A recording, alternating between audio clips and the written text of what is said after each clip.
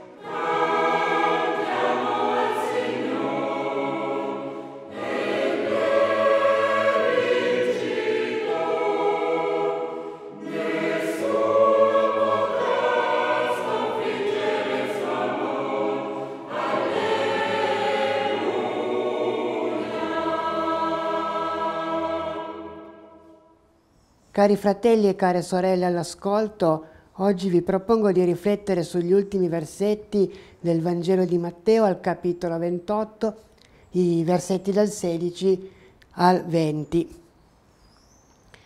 Quando agli undi, quanto agli undici discepoli, essi andarono in Galilea, sul monte che Gesù aveva loro designato, e vedutolo l'adorarono, alcuni però dubitarono e Gesù avvicinatosi parlò loro dicendo, ogni potere mi è dato in cielo e sulla terra.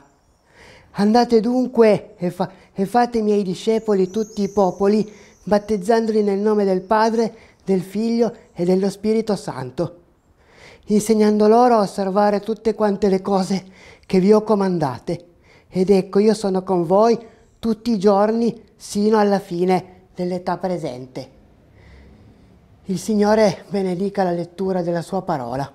Cari fratelli e care sorelle all'ascolto, Gesù era di nuovo lì con i suoi discepoli, era di nuovo lì con loro, li aveva convocati in un posto che loro conoscevano bene, la Galilea. In fondo questo è davvero un bel quadretto. Sembra davvero tutto tornato come prima, prima della sconfitta, prima della delusione. Tutto come prima. Anche il dubbio e la fede sono rimaste le stesse. Come sempre c'è chi si affida e chi nonostante tutto dubita. Oggi come allora. Se ascoltiamo bene il testo però scopriamo che ad un certo punto vira. È come se Gesù si spostasse dal centro della storia. O meglio, sembra cedere il passo a chi dopo di lui dovrà trasmettere il suo messaggio alle generazioni. Lo sforzo di testimoniare che ha chiesto ai discepoli, però, non è solitario. La testimonianza non è una fatica da portare a termine da soli. Gesù in questo testo sembra voler tranquillizzare i discepoli, dicendo loro che con la sua compagnia, perché a lui è stato dato ogni potere sulla terra ed in cielo, nulla è impossibile. Dunque, se nulla è impossibile, andate, cari discepoli, andate, care discepole, dice loro Gesù, per il mondo a fare miracoli. E se anche noi siamo discepoli e discepole, questo invito è rivolto anche a noi, a me, a te. Immagino il vostro sconcerto, che è stato anche il mio. Fare miracoli? E come si fa a fare un miracolo? A quanto mi risulta, nessun fratello o sorella di chiesa che ho conosciuto ha mai tramutato, anche se sarebbe stato molto comodo, l'acqua in vino o abbia mai guarito qualcuno. Ma allora la fiducia che Gesù mostra nei suoi discepoli è falsa e Gesù inganna noi e i suoi discepoli. Se così fosse, l'Evangelista sembra un venditore di prodotti miracolosi su internet.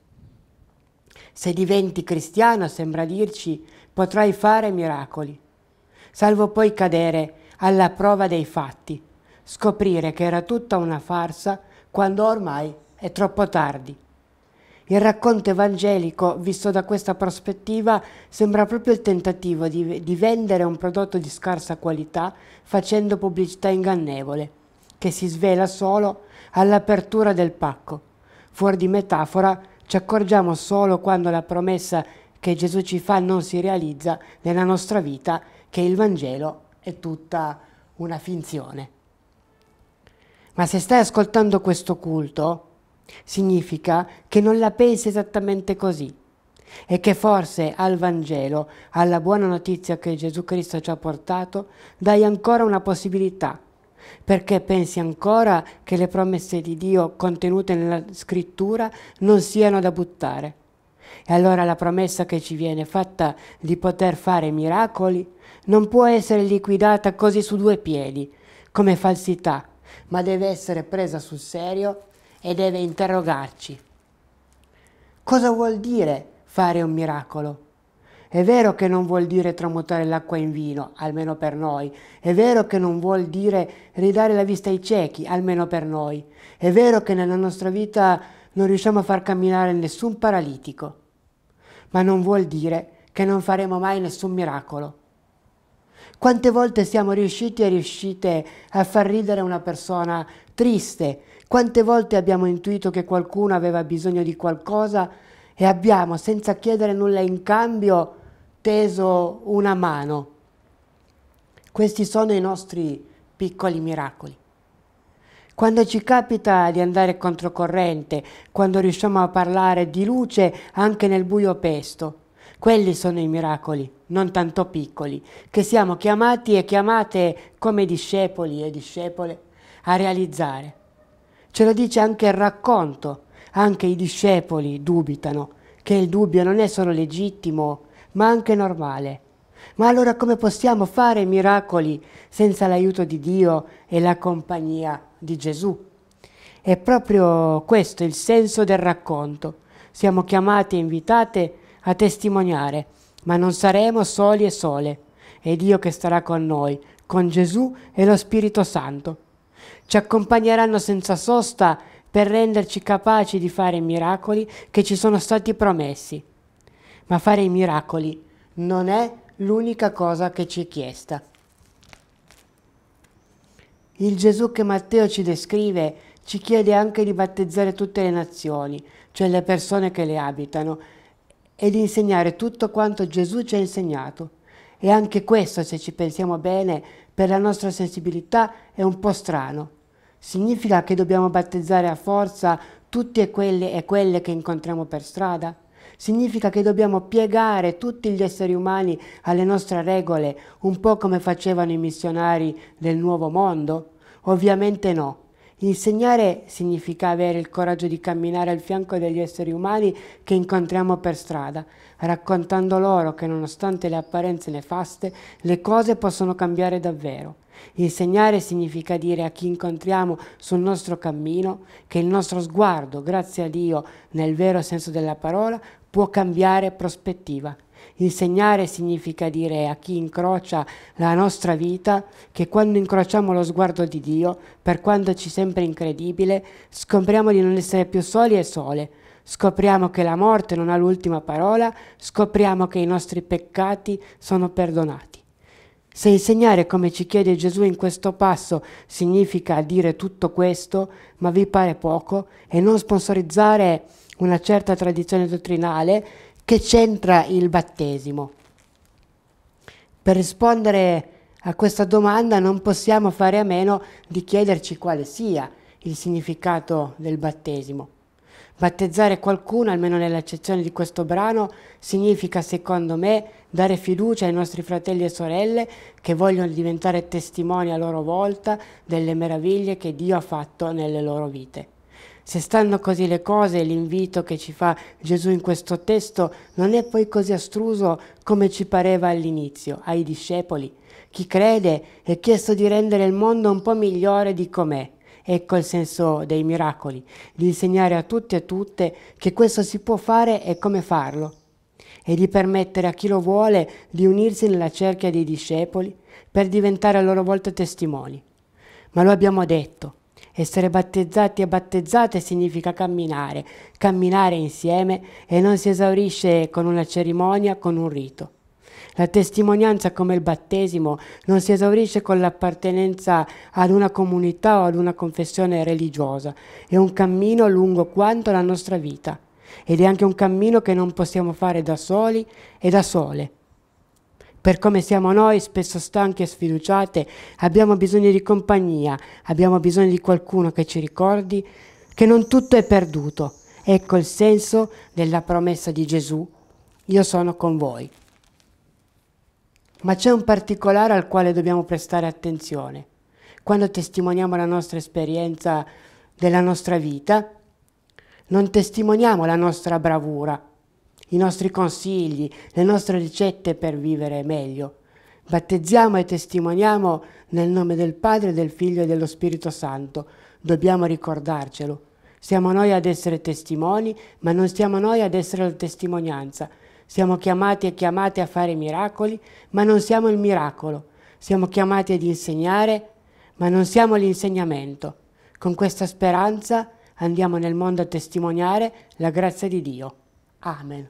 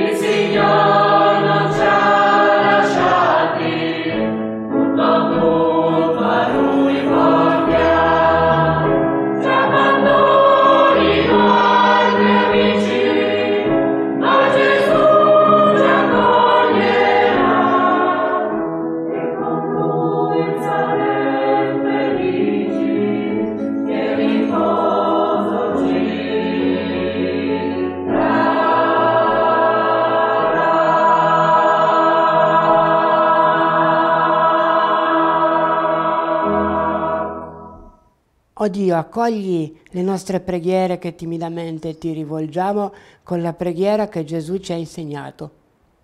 Padre nostro che sei nei cieli, sia santificato il tuo nome, venga il tuo regno, sia fatta la tua volontà, come in cielo anche in terra. Dacci oggi il nostro pane quotidiano e rimetti a noi i nostri debiti, come anche noi li rimettiamo ai nostri debitori. Non esporci alla tentazione, ma liberaci dal male. Tu il regno, la potenza e la gloria nei secoli dei secoli. Amen. Aiutaci, Signore, affinché le parole dette e le preghiere fatte siano davvero la tua presenza in mezzo a noi, che ci hai promesso. Dunque, con la certezza del perdono e della vicinanza di Dio, come ci insegna Gesù, andate per tutto il mondo, predicate il Vangelo ad ogni creatura.